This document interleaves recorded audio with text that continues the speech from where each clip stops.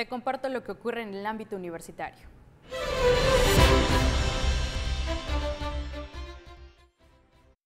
El voluntariado universitario encabezado por Aurestela Noverola hizo entrega de las becas a Padrina un estudiante en el campus Chontalpa de Lojat.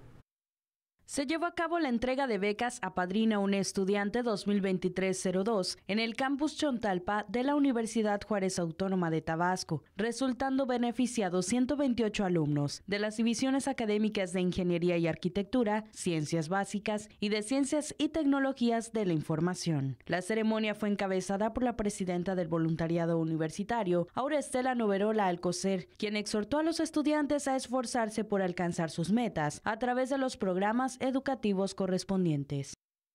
Y entonces decidió hacer este programa de becas, pero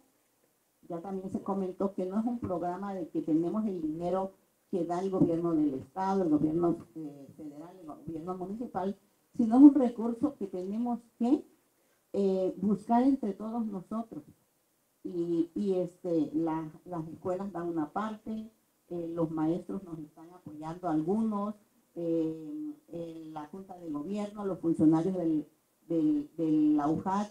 eh, algunos amigos, también estuvieron presentes la directora de la DAIA, Dora María Frías Márquez, Emma Robles, coordinadora del voluntariado de la UJAT, la directora de la División Académica de Ciencias Básicas, Hermisenda Pérez Vidal, el director de la División Académica de Ciencias y Tecnologías de la Información, Óscar Alberto González González, así como los padres de familia de los alumnos beneficiados con la beca. Con información de Gerardo Ayala, UJAT Noticias.